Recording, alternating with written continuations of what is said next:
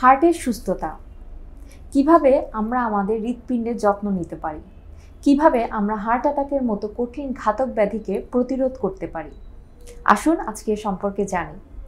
তবে শুরুতেই আমি একটু বলে নিতে চাই যে হার্ট অ্যাটাক মনে করলে আমরা হয়তো ভাবি যে আমাদের বয়স পঞ্চাশ বা ষাট পেরোলে আমরা হার্টের সুস্থতা অথবা হার্টের টেক কেয়ার সম্পর্কে ভাববো। কিন্তু ধারণাটা কিন্তু সম্পূর্ণ ভুল। হার্টের সুস্থতা নিয়ে আমাদের চিন্তা ভাবনা শুরু করতে হবে খুব অল্প বয়স থেকেই।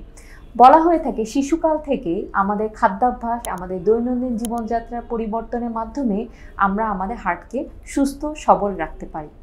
চলুন আজকে আমরা এ সম্পর্কে জানি। হার্টের সুস্থতার জন্য সবার প্রথমে যেটা আমি বলব লাইফস্টাইল আমাদের জীবনযাত্রা পরিবর্তনটা আনা সবার আগে সবচেয়ে জরুরি। জীবনযাত্রার পরিবর্তন বলতে আমরা কি বুঝি? প্রথমে আমরা হাইলাইট করব খাদ্যাভ্যাসের দিকে। আমাদের খাবারের তালিকায় থাকতে হবে সবুজ শাকসবজি। আমাদের এখানে আমরা রাঁধতে পারি ব্রোকলি, ফুলকপি, যেগুলোর মধ্যে অনেক অ্যান্টিঅক্সিডেন্টস থাকে, যেটা আমাদের প্রেশার কমিয়ে দিতে পারে এবং আমাদের হার্টকে ভালো রাখতে সাহায্য করতে পারে। এছাড়া শাক জাতীয় অনেক খাবার বা সালাদ, এগুলো আমাদের প্রতিদিন খাদ্য তালিকায় থাকবে। আমাদের খাদ্য তালিকায় থাকবে বিভিন্ন রকমের বাদাম। বাদামের মধ্যে দেখা গেছে আখরোট বা অ্যালমন্ড এগুলো বাদাম হার্টের জন্য সবচেয়ে ভালো। আপনি সিম্পল চীনা বাদামও খেতে পারেন।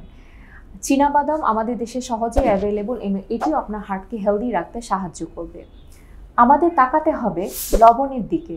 আমাদের খাবারে প্রতিদিন কিন্তু লবণের পরিমাণটা যেন পরিমিত থাকে সে ব্যাপারে নজর দিতে হবে।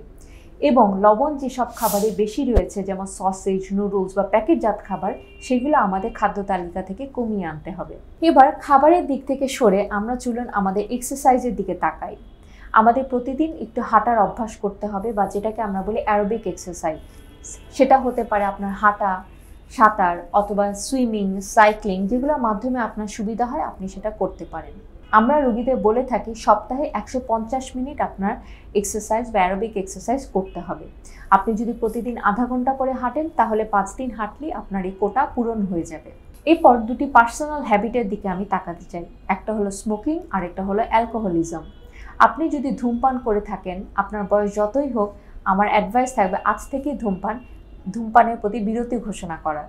কারণ ধূমপানের এই হার্ট অ্যাটাকের ছাড়াও অন্যান্য অনেক অসুখ রয়েছে যেগুলোর সাথে ডিরেক্টলি রিলেটেড এবং আপনার যদি অতিরিক্ত মদ্যপানের অভ্যাস থাকে, সেটিও কমিয়ে আনতে হবে।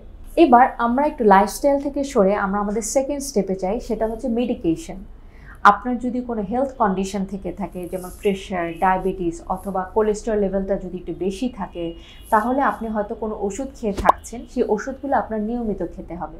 এবং যাদের এই রিস্ক ফ্যাক্টরসগুলো রয়েছে, তাদের এই হার্ট অ্যাটাক প্রতিরোধে আমরা আরও কিছু ওষুধ অ্যাডিশন দিয়ে থাকি, সেই ওষুধগুলো আপনার নিয়মিত খেতে হবে। তিন নাম্বার স্টেপ হলো, আমরা বলে থাকি এভাবে নো ইয়োর নাম্বারস আপনার নাম্বারগুলো আপনারই জানতে হবে। কি সেটা? কি নাম্বার সেগুলো?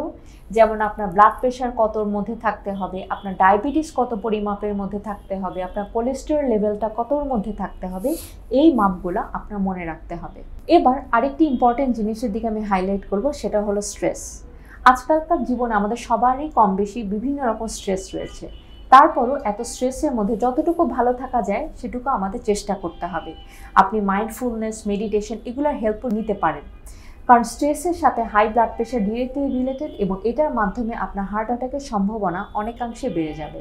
আমরা অনেকগুলো কথা বললাম, আমরা অনেক কিছু জানলাম। আমাদের এই ছোটো ছোটো অভ্যাসগুলো কিন্তু আমাদের ছোটোবেলা থেকেই শুরু করতে হবে। আমি বলব আপনার বয়স যদি বিশ পঁচিশ হয়ে থাকে তাহলেই এখন থেকে এই ব্যাপার সম্পর্কে একটু সচেতন হন।